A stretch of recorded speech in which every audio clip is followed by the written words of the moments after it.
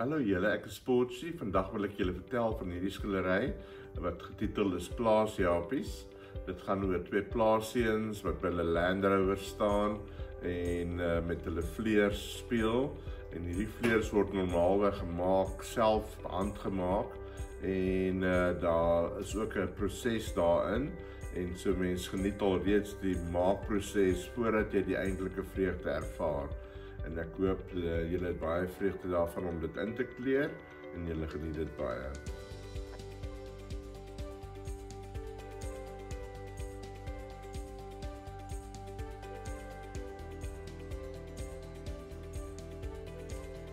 Please remember to like, share and subscribe to my YouTube channel.